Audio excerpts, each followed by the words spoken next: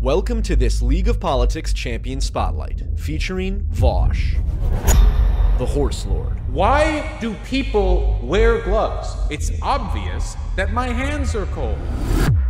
Vaush is one of the three major champions that were released as part of the legendary Political Streamer expansion pack, which has since dominated the meta in League of Politics. He is a very powerful dedicated tank, with a number of abilities that allow him to absorb tons of damage, drama, and general controversy. Let's take a look at what this hoofed hero can do on the Rift. Vaush hails from the most elite and wealthy parts of the upper city in Piltover. As a youth, Vaush witnessed the steep inequality between the citizens of the upper city and the disenfranchised denizens of the undercity known as Zaun. Driven by his deep sense of compassion, Vaush became a socialist, courageously championing the plight of the poor and dispossessed without ever actually doing anything to help them. In his quest for glory, Vaush befriended a magical goblin called Destiny. But after an unfortunate dispute over a member of Destiny's harem, Vaush struck out on his own to conquer the rift for himself. Vaush's passive is weapons grade autism. Considered by many to be the ultimate double edged sword, this ability grants major boosts to Vaush's rhetorical abilities. Hyperfixation has always been my most predominant autistic characteristic, I suppose, like dropping everything to hyperfixate on something. For me, it was public speaking, um, which I obviously enjoy very much and now get to do for a living, so, you know, that worked out pretty well in my favor. Hello, darkness, my old friend. The cost of such a powerful passive should not be underestimated, though. Without trying to deflect, this passive makes it difficult to read social cues from teammates and to avoid making optically unsound arguments. And I hate to pull this out because this sounds like some invalid self-defense, but I am autistic. I'm a lot better at making arguments than I used to be. I'm a lot less... I don't know. This is, I, I don't know. I'm not trying to deflect. I'm a lot less autistic than I used to be. I don't know. Vaush's Q is literally a fascist. Vaush targets an enemy champion and accuses them of being a fascist, dealing a moderate amount of true damage. It is in being a fascist. Because this ability deals true damage, Vaush doesn't need to itemize for armor penetration or provide any evidence. As long as they disagree with Vaush, they are vulnerable to this highly spammable ability. It's from conservatives. People who are often fascists. You're a fascist! Lo Vaush, you really saying Peterson is a fascist? Yeah. No matter what she personally believes, she covers for fascists. I don't even know if he's a, a Nazi. Um, he's definitely an anti-Semite.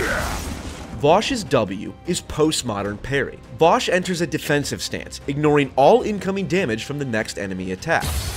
First, Vaush spends a few seconds channeling the power of moral relativism. Whereas a moral anti-realist is of the opinion that there's no such thing as an epistemically objective morality, but they're objectively right or wrong in the framework of an intersubjective set of moral principles. Once he's uttered the incantations, Vaush then puts his postmodern magic into practice, granting him invulnerability against even the most basic of facts. But let's just use the example of water. Maybe we could agree that water is H2O. That was true even before we knew about chemistry. This it was isn't H2O. true. I'm sorry? This isn't Go- true.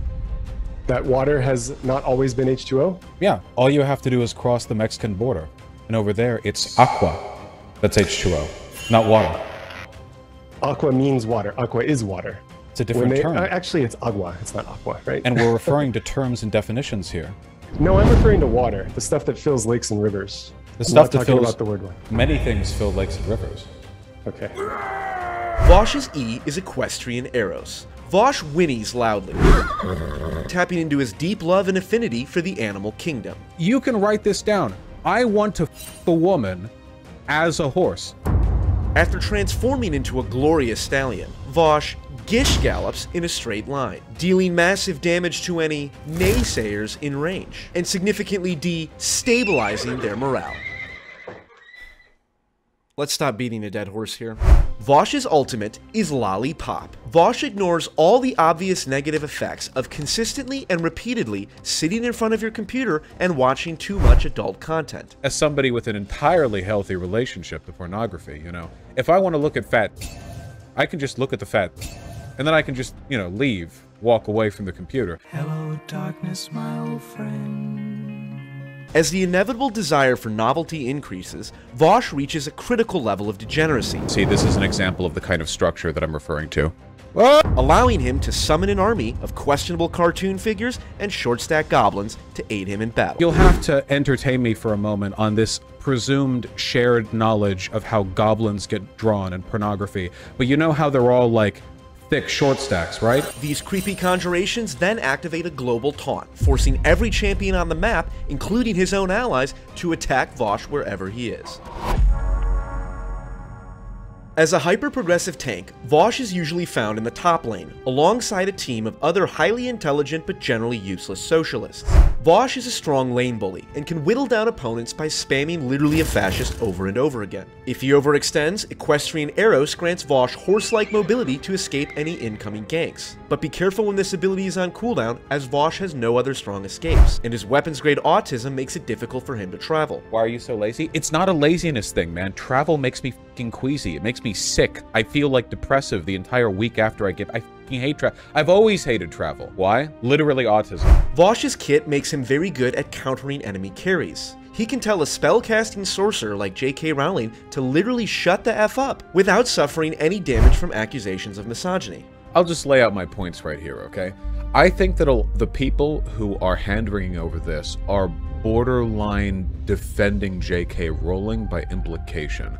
So the people who are fretting over this are essentially siding with the transphobe, either because their optics or civility politics brained in a very liberal fashion, or because they hate me so much that they have to adopt any position which allows them to condemn me. Despite the hyper-progressive nature of his kit, Vaush is capable of making some base takes when postmodern parry is on cooldown and he's forced to use common sense. Quit making pride, quit making the existence of gay people a sex thing. Isn't that the progressive argument? That teaching kids sexuality isn't the same thing as exposing them to sex? Isn't that the whole argument we make? Kids should go to Pride. It should be a cool thing for it should be a block party with cotton candy. It should be a community fair. If you want a kink thing, go to a private venue.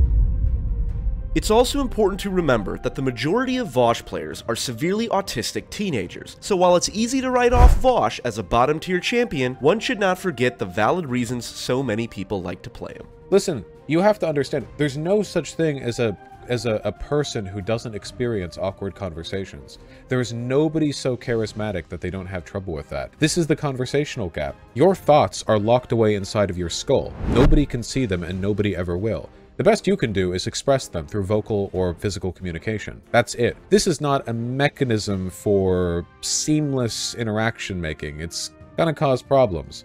For everyone, you know? You're just trying to make it as good as you can. Thank you for watching this Champion Spotlight. Join us next time for a closer look at Benjamin Netanyahu, the Lord of Darkness.